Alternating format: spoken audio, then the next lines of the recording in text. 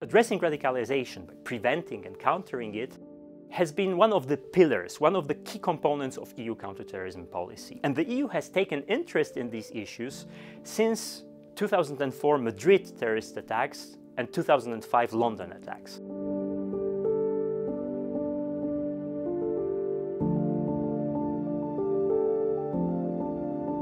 Security is primarily national competence. Yet, EU citizens have expressed on many occasions support for being more involved in counterterrorism.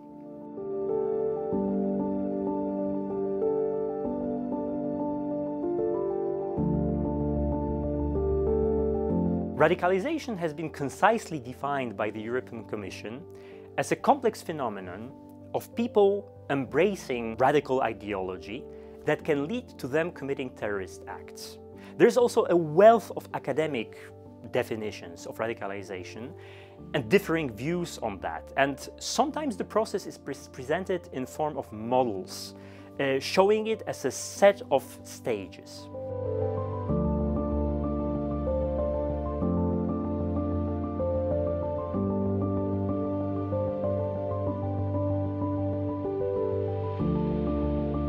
Is it really a linear process?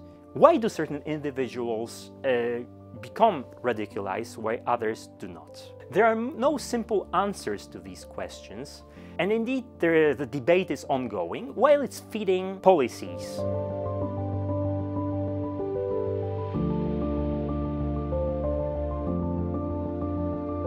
The activities of Radicalization Awareness Network connects frontline practitioners, policymakers and academics.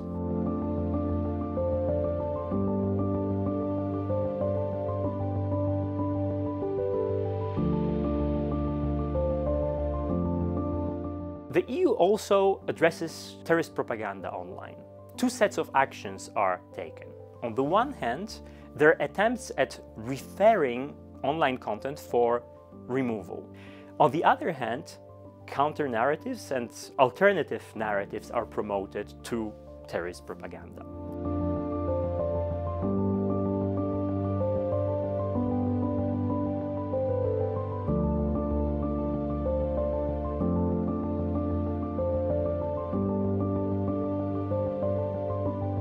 Have spent much more time online. Prolonged economic hardship have led people to become more anxious and vulnerable to propaganda. And indeed, we have witnessed uh, more and more propaganda being available and consumed online. There has been some success of EU and national governments in that respect, as evidenced by the disruption of Telegram. But on the other hand, extremists have been going further underground and uh, used a variety of less known platforms.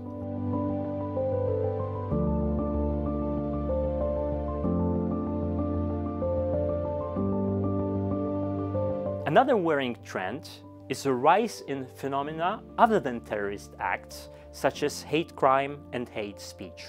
There is an initiative to extend the list of so-called Eurocrimes for which the EU can create minimum rules concerning the definition of crimes and sanctions the same way it has done for human trafficking or money laundering.